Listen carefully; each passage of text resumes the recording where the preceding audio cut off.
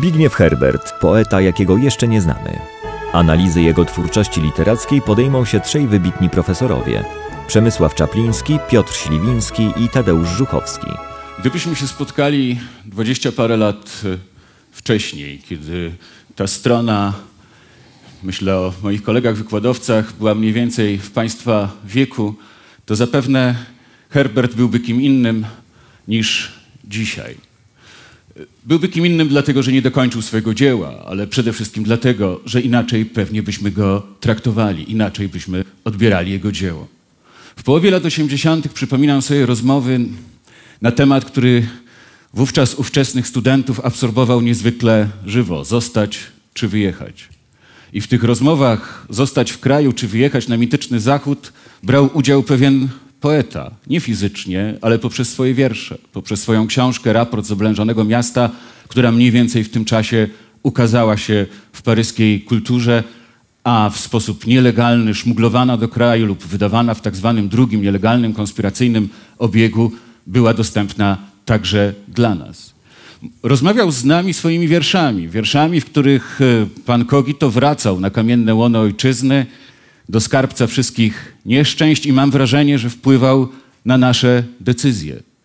Decyzje zostać czy wyjechać o wiele dramatyczniejsze niż te, które podejmuje się również dzisiaj. Zbigniew Herbert podówczas był nie tylko poetą, nie tylko dostarczycielem wrażeń estetycznych, źródłem piękna i zachwytu.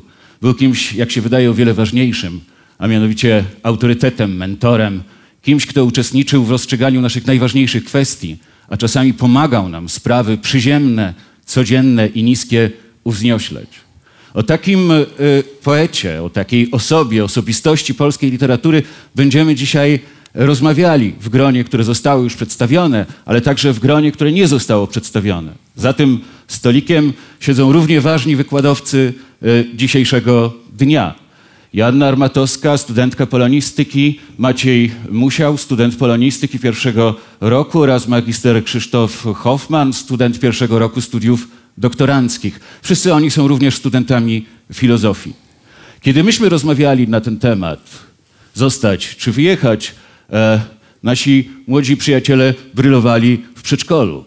I dlatego ich głos, jak Herberta odbierać w innym kontekście, wtedy kiedy nie mamy już tak dramatycznych kwestii do rozstrzygnięcia, jest niesłychanie ważny i interesujący. Ojej. Niewielu jest chyba w powojennej literaturze polskiej twórców, którzy w świadomości społecznej, tak jak Zbigniew Herbert, e, zrośliby się z jedną dziedziną twórczości. Mówimy Herbert i słowo poeta zdaje się pojawiać niemalże jako imię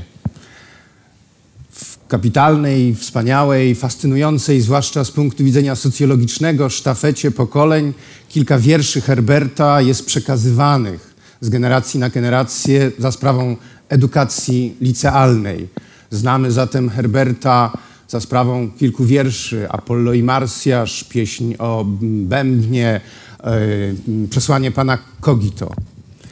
Jednakże jeśli przyjrzymy się biografii Herberta, to zauważymy, że kiedy w wieku lat 20, a więc mniej więcej około roku 44, Herbert zaczynał pisać, to rzec można, prawą ręką pisał wiersze, a lewą opowiadania. Co więcej, e, co prawda, tuż po wojnie najczęściej e, pisał wiersze i starał się publikować je w czasopismach literackich. Ale kiedy nastąpił moment jego właściwego debiutu, rok 1956, wówczas Herbert najpierw zadebiutował jako dramaturg, bardzo znanym tekstem funkcjonującym w wielu antologiach, dramatem zatytułowanym Jaskinia Filozofów, a dopiero kilka miesięcy później tomikiem poetyckim Struna Światła. Gdy przyjrzymy się kilku kolejnym latom w jego życiu i w jego dorobku, można odnieść wrażenie, że Herbert sam do końca nie wiedział, czy chce zostać wyłącznie poetą. W jego twórczości wówczas e, pisanie dramatów i pisanie wierszy idą ze sobą o lepsze. Do tego stopnia, że do schyłku lat 50., do początku lat 60., Herbert jest właściwie aktywniejszym dramatopisarzem niż poetą. Być może zatem on sam chciał być kimś więcej, chciał być kimś innym niż tylko Herbertem poetą, takim właśnie, jakim jest e, w naszym społecznym, zbiorowym postrzeganiu. E, jeden z wierszy Herberta kończy się takim pięknym dystychem. Więc jeśli będzie podróż, niech będzie to podróż długa, prawdziwa podróż, z której się nie wraca. Można odnieść wrażenie, że zapraszamy Państwa dzisiaj właśnie w taką podróż po twórczości Herberta. Od dramatów, e, który, od których Herbert e, zaczynał, e, o których warto pamiętać, jako że Herbert był głodny świata, nasłuchiwał rzeczywistości, dość wrażliwe, mając dość wrażliwe ucho.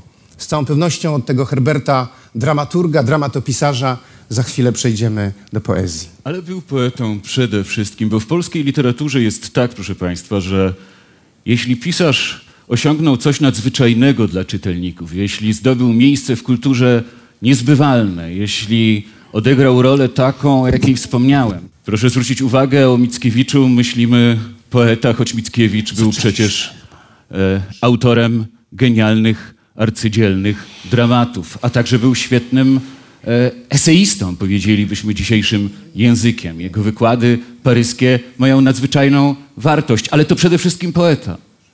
E, poetą jest dla nas przede wszystkim Słowacki, Krasiński, Norwid, choć każdy z nich e, tworzył w różnych literackich językach. Herbert debiutował tomem poetyckim, choć nie jest to jego debiut absolutny, w 1956 roku. Wtedy to ukazała się struna światła. Wtedy to w 1956 roku pojawiło się kilka ważnych wystąpień poetyckich, ale najważniejsze było to Herbertowe właśnie i Białoszewskiego Obroty Rzeczy. Ukazanie się tych dwóch książek pieczętowało koniec najbardziej ponurej, ponurego okresu w historii polskiej literatury, nie tylko powojennej, ale być może w ogóle, a mianowicie okresu stalinowskiego, kiedy to literatura została zaprzęgnięta do pełnienia zadań propagandowych kiedy stała się narzędziem e, ideologizacji e, wszelkich dziedzin życia w Polsce, kiedy stała się, czy miała stać się cepem i młotem w rękach władzy. Kiedy pisała pod strychulec według z góry określonego wzorca, w z góry określonym celu. Więc ukazanie się takich wierszy, jakie pisał podówczas Herbert, w strunie światła, wierszy skoncentrowanych, odwracających e, wartości, zwracających naszą uwagę ku kulturze przez wielkie K, było czymś niesłychanie istotnym. Od razu też, jak się wydaje, w tej książce pojawiają się kwestie dla całego Herberta kluczowe. Po pierwsze, jest to kwestia tradycji. Czym jest tradycja? No, na to oczywiście nie mamy czasu, żeby e, rzecz rozwinąć i, i wyjaśnić, choćby pokrótce. Powiedziałbym zatem najkrócej jak się da, pewnie za krótko, że jest tradycja pewnego rodzaju strumieniem wartości, e, w który jesteśmy wrzuceni, który nas opływa. Czasami sprawiamy, że ten strumień w rezultacie naszej, naszego oporu zmienia bieg. Czasami usiłujemy uciec spod jego wpływu, oddalić się odeń. Ale koniec końców tradycja jest czymś, co albo nas stymuluje, albo czymś, E, co akceptujemy. Dla Herberta po wojnie, po tej katastrofie, jaką, jaką przyniosła wojna, to nie była katastrofa milionów, nie tylko katastrofa milionów istnień zgładzonych podówczas, ale to była katastrofa wartości, na których ufundowana została europejska kultura. Otóż Herbert usiłuje desperacko, mając świadomość, jak to bardzo trudne, mając poczucie nihilizmu, które jest poczuciem całej literatury dwudziestowiecznej, całej literatury nowoczesnej. Usiłuje desperacko przywołać, jakby wywabić ów strumień wartości, by przepłynął przezeń i przez jego czytelników. To nie jest naiwność.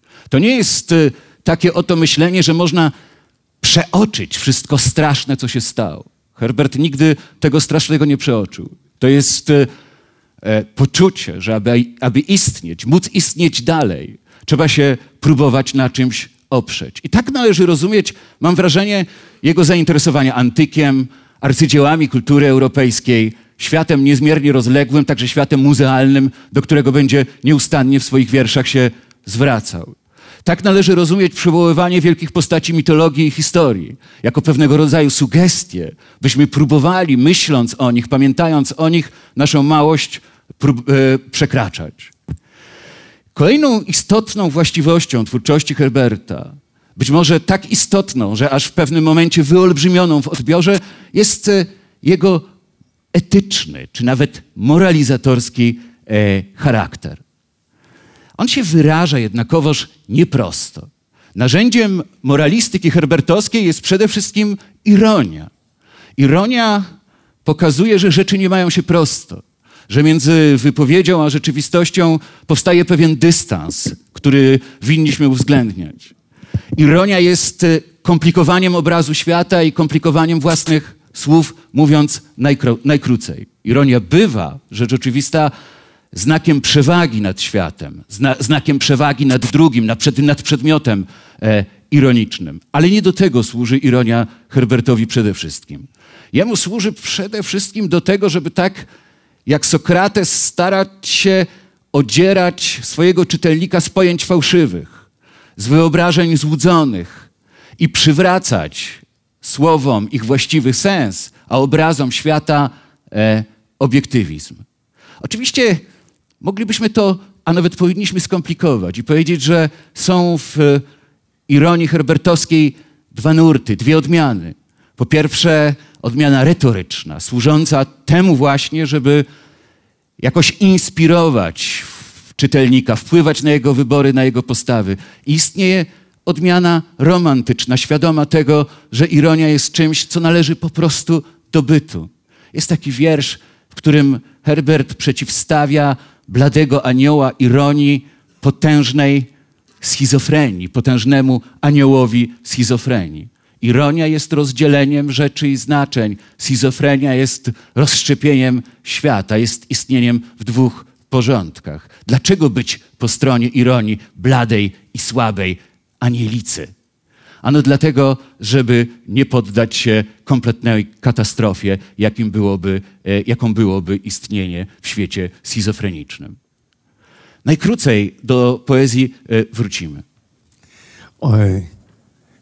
Jesteśmy mm, zatem w latach 50. i w latach 60. E, Rok 1962 to w polskiej literaturze czy w polskim piśmiennictwie ważna data między innymi, albo może nawet przede wszystkim ze względu na mm, książkę eseistyczną Zbigniewa Herberta zatytułowaną Barbarzyńca w ogrodzie. E, Herbert pisał w niej o swojej podróży po Francji i Włoszech. Tutaj trzeba nadmienić dla dzisiejszych słuchaczy o rzeczy być może nieoczywiste, a mianowicie, kiedy ktoś w tamtych czasach wyjeżdżał, wyjeżdżał e, być może sam, ale nie tylko we własnym imieniu kto e, udawał się na zachód Europy, komu dane było opuścić na chwilę chociażby kraj, ten był niejako emisariuszem, depozytariuszem pewnych marzeń i tęsknot tych wszystkich, którzy wyjechać nie mogli, tych wszystkich, którzy w kraju e, pozostawali. Herbert w tej książce opisywał e, relacje pomiędzy przybyszem z Europy Środkowej, Środkowo-Wschodniej, e, z całą pewnością Europy znajdującej się za żelazną kurtyną, a dziedzictwem kultury europejskiej. Sposób pisania Herberta był rzeczą niezwykłą i być może e, między innymi z tego względu ta książka została tak wysoko oceniona, uzyskała bardzo wiele nagród. W krótkim dość czasie miała sześć wydań, kilka albo nawet kilkanaście przekładów na języki obce, a nagrody, które przypadły jej w udziale, pochodziły zarówno ze strony krajowej, jak i e, emigracyjnej, co się niesłychanie rzadko wtedy e, zdarzało.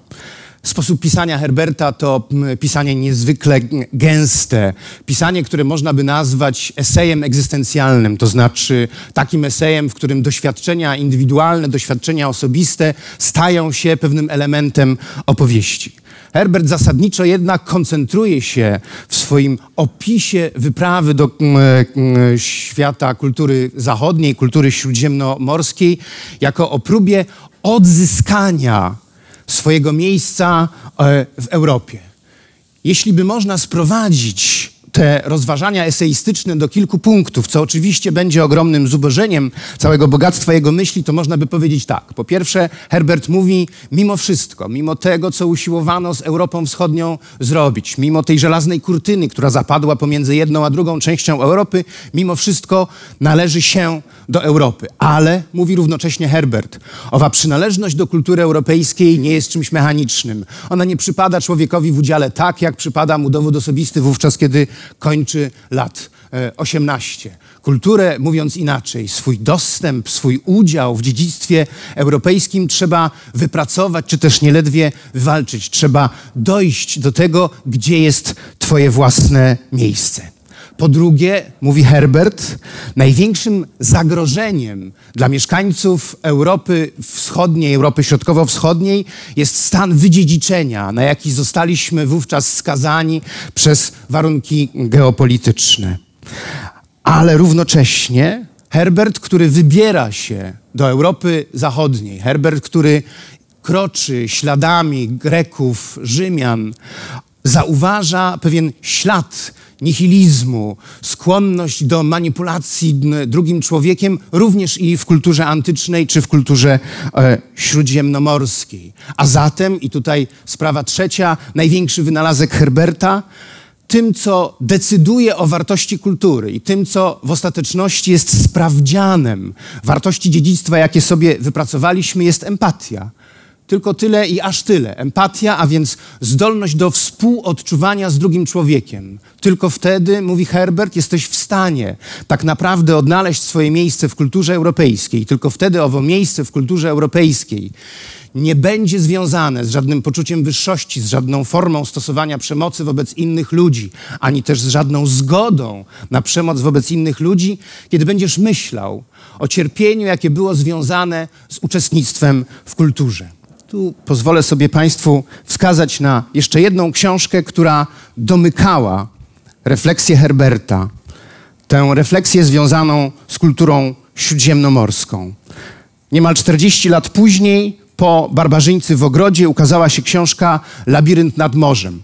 Ona domknęła te rozważania. I to byłby świetny moment. E, żeby głos zabrał profesor e, Żuchowski, ale zanim tak się stanie, chciałbym spytać e, loże młodych e, o to, kim jest dla nich Herbert, dla nich, dla których wolność, o której mówiliśmy, i Europa, o którą walczył i którą przedstawiał w swoich książkach, są to sprawy oczywiste, dane im za młodu. Otóż komuś, kto urodził się w jakże wspaniałych latach 80., to co powiada nam Herbert i to kim jest, pytanie o to, odpowiedź na to pytanie nasuwa się dość jednoznacznie i sądzimy, że Herbert jest dla nas nikim i że mówi nam właściwie nic. Że jest takim starym nudziarzem, który opowiada nam, męczy nas jakimiś opowieściami o tym, co już dawno przebrzmiało, co jest dla nas właśnie oczywiste i co stanowi dla nas codzienność. Jednakowoż, gdy zastanowimy się, nad, tą, nad tym, co jest co, codziennością, nad tym, co jest oczywistością, możemy dojść do wniosku, że właśnie to jest owiane największą mgiełką tajemnicy, ponieważ właśnie to temu poświęcamy najmniej naszego namysłu. I tu pojawia się Herbert, który może rozwiać tą mgiełkę tajemnicy. W jaki sposób? Otóż obcując poezją Herberta, która niewątpliwie jest naznaczona wielką tęsknotą za tą wolnością, za tą europejskością, którą, która dla nas jest oczywistością, a wtedy była nieosiągalna. Kiedy czytamy te, te, te jego tęsknoty, zaczynamy się zastanawiać. Zastanawiamy się, czy ten chleb powszedni, który tak beznamiętnie i bezrefleksyjnie spożywamy, ta wolność, którą tak, której tak używamy bezrefleksyjnie, czy nie ma ona jakiegoś smaku, który nam umyka, którego nie dostrzegamy. Mówiąc krótko, Herbert pozwala nam dostrzec wagę pewnych wartości, które uznajemy dzisiaj za oczywiste. Pozwala nam w pewien sposób wyobrazić sobie, jak bez nich wyglądałoby nasze życie, jak wyglądałaby nasza codzienność bez tego, co za oczywistą codzienność uznajemy. Może mniej efektownie, ale jednak pozwolę się nie zgodzić e, trochę z tobą, Macieju, bo wydaje mi się, że zbyt łatwo przyjmujesz to, że owa wolność e, i Europa to dla nas słowa dzisiaj oczywiste. Tak, kiedy myślę, wydaje mi się, że one jednak oczywiste nie są. Iż pytania zadawane przez Herberta brzmią dzisiaj nadal, być może w trochę innej formie. Nie pytamy o wolność i niepodległość granic państwa czy jednostki, ale pytamy o granice owej wolności i niepodległości. Nie pytamy o to, czy w Europie, czy jesteśmy, czy będziemy, czy byliśmy, ale pytamy, jak w Europie. I w momencie, gdy chociażby czytam rozważania o problemie narodu i wiersz, który rozpoczyna się z faktu używania tych samych przekleństw i podobnych zaklęć miłosnych, wyciąga się zbyt śmiałe wnioski. A chwilę później chciałbym nareszcie wiedzieć, gdzie kończy się wmówienie, a zaczyna związek realny, to mam wrażenie, że słowa, jakkolwiek trochę inaczej, aktualne są wciąż. E, więc jednym zdaniem, gdyby chciał to może w ten sposób ująć, iż zdaje się, że Herbert powiada, że każde pokolenie musi negocjować odpowiedzi na czasem podobne pytania, a przestrzenią negocjacji może być literatura. E, w tak postawionym pytaniu można by samo pojęcie oczywistości odnieść też do samego Herberta, to znaczy mm, można odnieść wrażenie, że poezja Herberta, mimo elementu ironicznego i mimo liryzmu, ujawnia jednak spore pokłady oczywistości i takiej jednoznaczności właśnie w wymiarze na wskroś moralnym i kazuistycznym. E, jeśli pominąć zatem uwarunkowania historyczne i przyjąć e, pojęcie Europy i wolności za bezpośrednio nam dane, za naturalne, to może okazać się, że ta harda postawa e, jest nieprzekonująca. Oczywiście aktualny pozostaje zawsze podział na, mówiąc bardzo ogólnie i upraszczająco, podział na to, co dobre i złe, jednak takie stalowe rozdzielanie na to, co białe i czarne, na to, co z pewnością białe i co całkowicie czarne, wydaje się e, zbyt proste, aby wzbudzało wiarygodność. To znaczy ten imperatyw, taki kate, imperatyw kategoryczny, taki z gruntu oświeceniowy, wydaje się, podkręcany jeszcze patosem, wydaje się nie przylegać do odbioru rzeczywistości, która jest nam współczesna, tej najbardziej współczesnej. Dziękuję bardzo. E, zależy nam bardzo na tym, aby, aby Państwo mieli różne poglądy, z których będą e, wybierali, bo też chodzi o to, żeby o Herbercie rozmawiać, dyskutować, spierać się, żeby był bohaterem dialogu, a nie bohaterem monofonicznego, choćby i zasłużonego e, podziwu. Profesor Żuchowski. Proszę Państwa, zgadzamy się z jednym, że Herbert był osobą wrażliwą i ta wrażliwość, fascynacja otaczającym go światem kierowała go na różne obszary. Między innymi też E, sztuki plastyczne, tutaj myślę o malarstwie, o rzeźbie, ale myślę też i o architekturze, były tym, co go przyciągało. E, pisarstwo o tym stało się też e, dla niego takim naturalnym działaniem. Ale Herbert w tym pisarstwie o sztuce, czy w próbach pisania o sztuce, bo tak to by częściej trzeba było nazywać, próbował postawić sobie pytanie, jak to się dzieje, że doświadczam takiej fascynacji. I ta fascynacja u Herberta sztuką trwała bardzo długo, bo od końca lat, od końca lat 40. I im bardziej był zafascynowany, tym bardziej chciał zrozumieć, jak to się dzieje. I im bardziej chciał zrozumieć, tym bardziej wszystko mu gdzieś uciekało pomiędzy palcami. Tym większa była pokora wobec dzieła. Herbert więc w kontaktach ze sztuką usiłował zrobić coś, co jest właściwie niemożliwe. Próbował opisać to, co doświadczamy wzrokowo. Takie w tekstach powstaje napięcie pomiędzy doświadczaniem a racjonalną egzegezą, czyli opisanie tego, co widać, a jednocześnie powiedzenie, o co chodzi w tym e, obrazie. Dlatego też Herbert bardzo dokładnie przygląda się obrazom. E, zacznę od cytatu, który przez dłuższy czas był na ekranie. Zwiedzając muzea zwykłem robić szkice, coś w rodzaju notatek z lektury. W szkicach chodziło mi o przedłużenie w pamięci schematu kompozycji lub frapujących mnie szczegółów, wykroju powieki, skłonu głowy, jakiegoś drobnego szczegółu wyłowionego.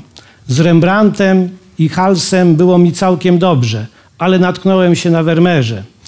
Tyle razy próbowałem przetłumaczyć jego subtelną i pełną niuansów, niezwykle skomplikowaną maszynę malarską na prosty język.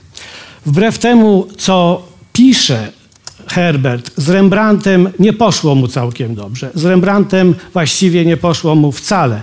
Rembrandt e, opierał się Herbertowi przez 50 lat i poeta próbował przez te 50 lat wydrzeć mu e, tajemnicę. Im więcej widział Rembrandta, tym bardziej starał się dociec, skąd sztuka Rembrandta się bierze.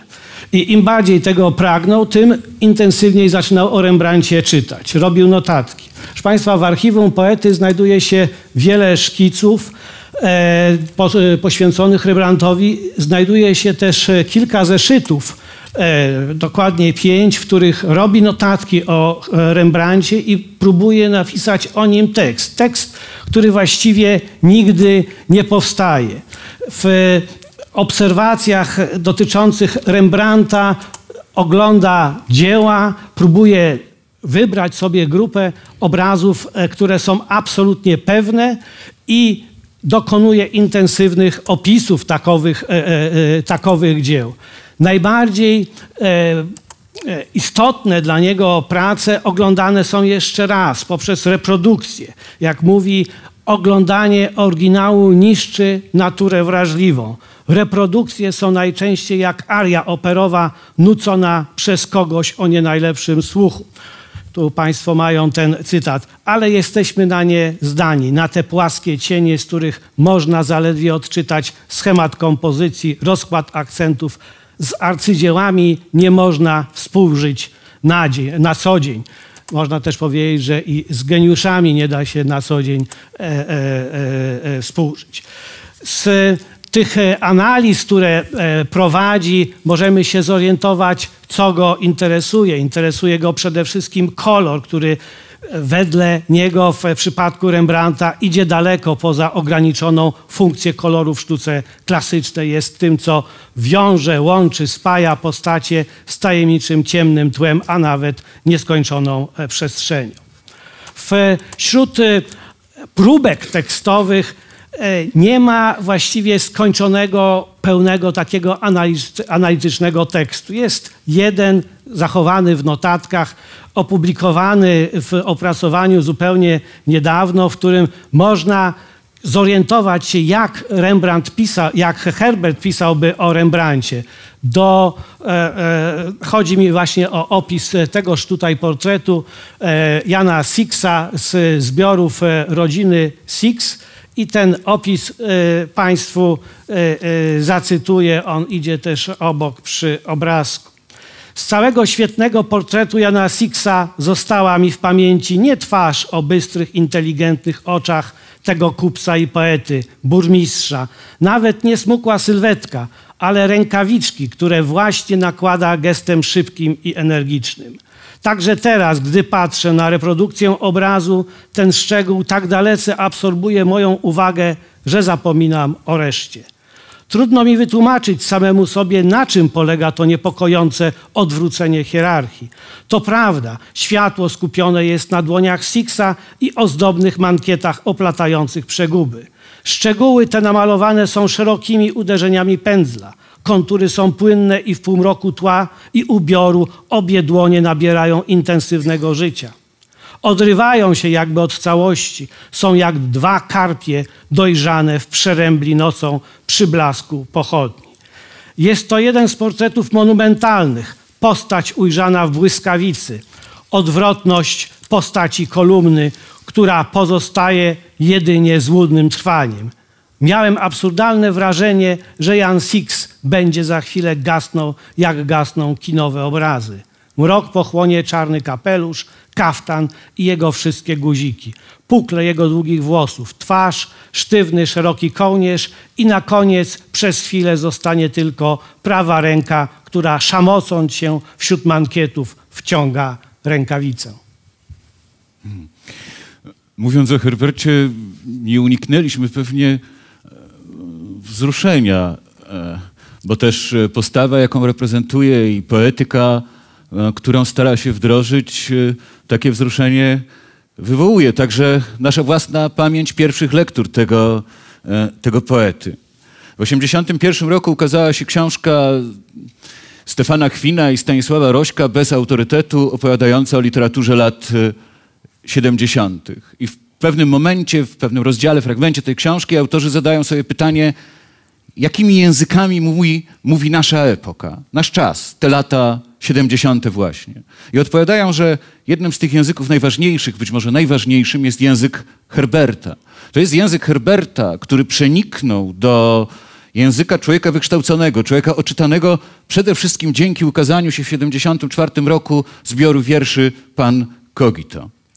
Pan Kogito to opowieść o zdobywaniu tożsamości, o odpowiedzi na pytanie, jak być, kim się jest i czy to, że człowiek wie, kim jest i chce być, jakoś go zobowiązuje. Uwieńczona, jak Państwo pamiętają, słynnym przesłaniem pana Kogito, które każden, każden z tu obecnych zapewne na pamięć choćby fragmentarycznie zna. Bądź wierny, idź, idź wyprostowany wśród tych, co na kolanach i tak dalej, i tak dalej.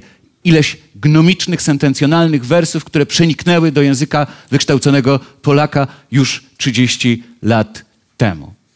W połowie lat, czyli był Herbert poetą podziwianym, ale poeta podziwiany narażony jest na to, że spotka go przygoda, paradoksalnie przygoda obojętności, a przynajmniej przygoda niezrozumienia. Zatem w połowie lat 80., kiedy ukazuje się książka innego wybitnego poety, Stanisława Barańczaka, zatytułowana Uciekinier e, z utopii, wydana w Londynie, znowu szmuglowana do, do, do kraju, powielana tutaj e, w drugim obiegu. Autor Barańczak zaczyna od dużego rozdziału poświęconego nieporozumieniom, których bohaterem, antybohaterem, przedmiotem właśnie, już nie podmiotem, ale przedmiotem był Herbert. Mówi, nie ma pewnie od dawna takiego poety, który byłby, mm, którego dzieło byłoby pokryte tak grubym werniks, werniksem konserwatorów. Werniks w tym wypadku oznacza przeszkodę w zrozumieniu istoty, w przedarciu się do tego, jak jest naprawdę w poezji, w poezji Herberta. Co miał, co miał Barańczak na myśli? Otóż on miał na myśli ów wspomniany przez profesora Czaplińskiego odbiór szkolny, stereotypowy, ten podziw, który nie wywołuje buntu, nie wywołuje prawdziwego, realnego zaciekawienia, który nie sprawia, że zmagamy się wierszem, tylko pozwala, z wierszem, tylko pozwalamy mu się ukołysać. Ale on też miał na myśli poważniejsze e, interpretacje, koncepcje krytyczne, spośród których najważniejszą była koncepcja klasycyzmu Herberta.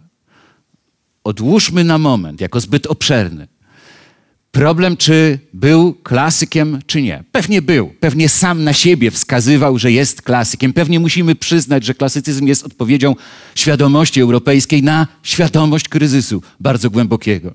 Pewnie musimy zaakceptować, że mistrzowie Herberta, Rilke, Eliot, ci, którzy przetrwali w pamięci, napisali frazy godne pamiętania, e, to są e, poeci niesłychanie ważni, być może prototypowi dla dwudziestowiecznego klasycyzmu.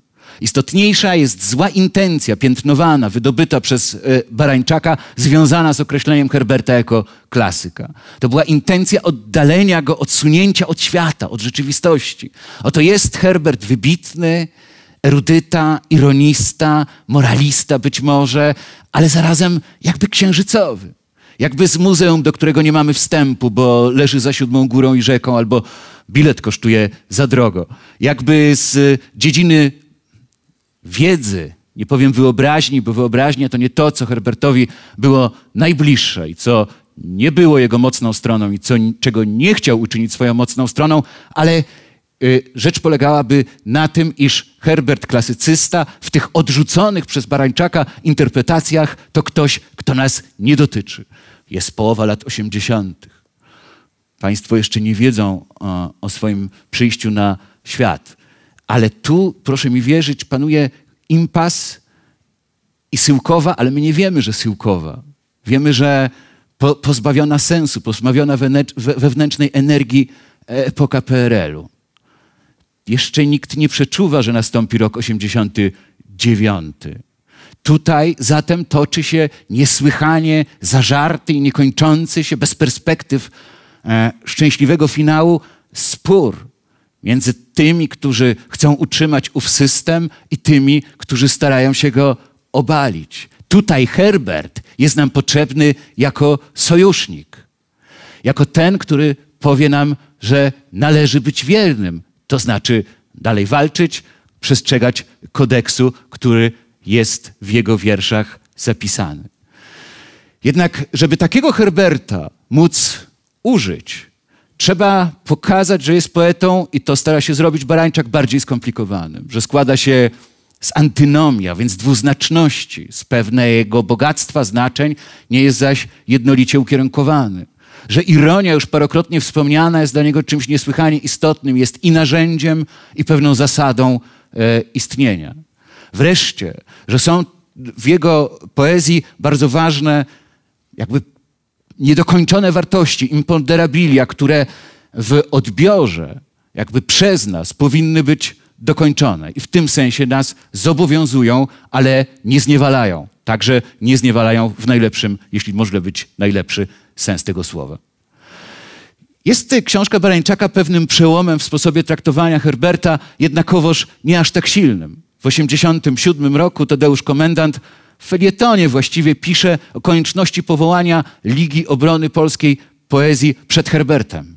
Dlaczego? Bo Herbert ma za dużo wpływu i Herbert jest na ustach wszystkich, którzy piszą albo starają się pisać. W związku z tym poezja polska staje się ciaśniejsza niż by mogła być.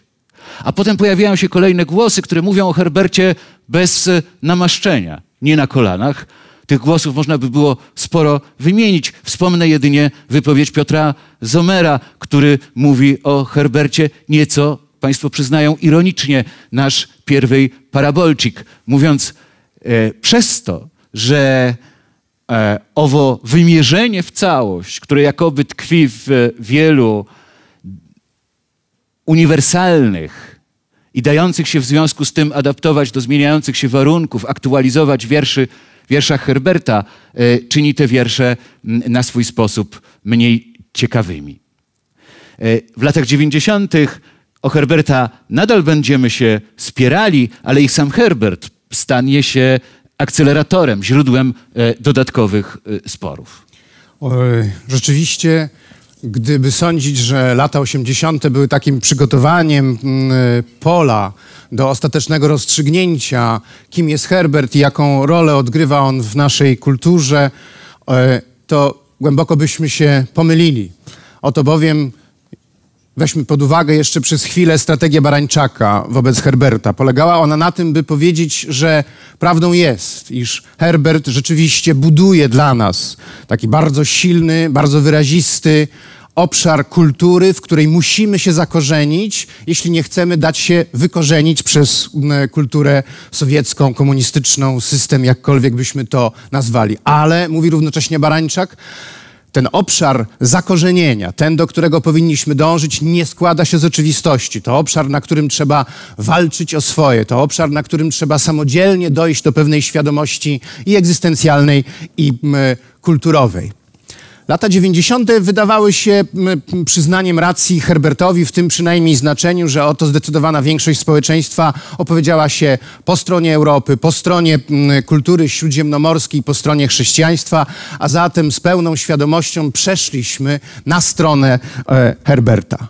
Z pewnym zdumieniem zatem można obserwować, jak narasta, nabiera dramatyzmu, dynamizmu i coraz ostrzejszych tonów. Spór, jak powiedział przed chwilą Piotr Śliwiński, spór nie tylko do którego Herbert zostaje wciągnięty, ale spór, który przez samego Herberta jest bardzo wyraziście animowany. Gdyby za cenę pewnego uproszczenia e, przeciwstawić, skonstruować dwie strony, pokazać dwie strony biorące udział w tym sporze, to należałoby powiedzieć, że po jednej stanęli ci, którzy chcieli interpretować Herberta jako poetę egzystencjalistycznego, poetę ironicznego, poetę niepokojów i lęków życiowych, poetę mrocznego, poetę, który nigdzie i nigdy nie dostrzega absolutnego zakorzenienia bytu ludzkiego, to po jednej stronie oraz po drugiej stronie stanęli ci, którzy uważali, że Herbert jest przede wszystkim poetą antykomunistycznym, poetą niepodległościowym, poetą polskim, to znaczy tym, który mówi o nas, o tej lokalnej wspólnocie, jaką my stanowimy. Było to konsekwencją kilku czy kilkunastu wypowiedzi udzielonych przez samego Herberta, wypowiedzi, w których e, twórca bardzo mocno zaangażował się po stronie wymierzenia sprawiedliwości dawnemu ustrojowi, dawnemu reżimowi, wymierzenia sprawiedliwości tym ludziom, którzy byli jego funkcjonariuszami. Herbert, uplątany w taki spór, nie mógł oczywiście wygrać. Obawiam się, że my także z takim Herbertem e, od takiego Herberta, tak interpretowanego, niewiele moglibyśmy uzyskać. Zacznę od pytania, czy Herberta powinni czytać historycy sztuki i dlaczego Herbert nie lubił historyków sztuki.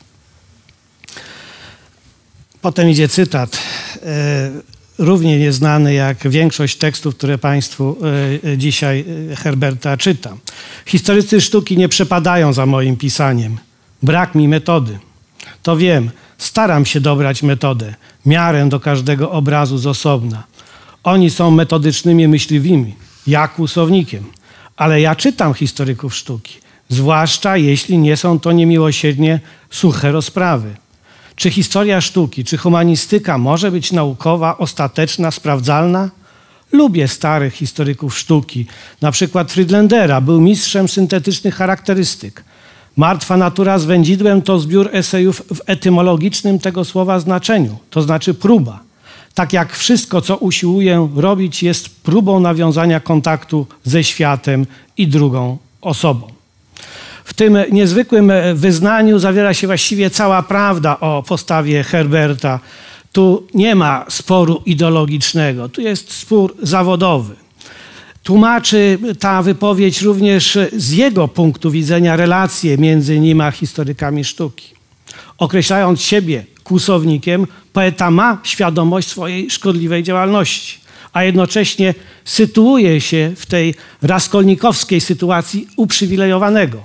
Zdaje się mówić, nie muszę przestrzegać reguł, one są dla maluczkich. Moja metoda jest zmienna, a jednocześnie przyznaje, że reguły gry stosowane przez tych, którzy e, przestrzegają zasad, nie są przez niego akceptowane. To tak jak być dobrym kierowcą, nie mając prawa jazdy. A może to tak jak być złodziejem poznającym policyjne metody działania.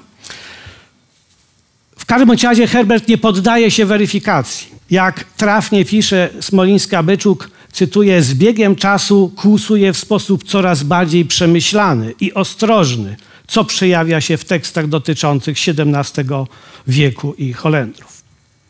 W tym sensie martwa natura z wędzidłem oparta jest na intensywnie opanowanej wiedzy historyczno-artystycznej i jest bardziej dociekliwa aniżeli barbarzyńca w e, ogrodzie. Ale z drugiej strony też jest mniej doceniana i mniej e, czytana. Nie trzeba nikogo przekonywać, że topos barbarzyńcy i kusownika zdają się podążać bliskimi sobie torami. W cytowanym fragmencie ukryta jest jeszcze jedna aluzja. Metodyczni, myśliwi to znaczy tacy, którzy systematycznie zabijają. Herbert zabija niesystematycznie. Herbert krytykuje systematycznych ikonologów, e, próbujących tłumaczyć symbolikę dzieła, jednocześnie robi to samo choć jak mówi, nie stosuje określonej metody, to jego sposób podchodzenia do dzieła sytuuje go e, w tych metodach, które zwracają uwagę na dokładny ogląd, a więc sytuuje go gdzieś tam w kręgu hermeneutów.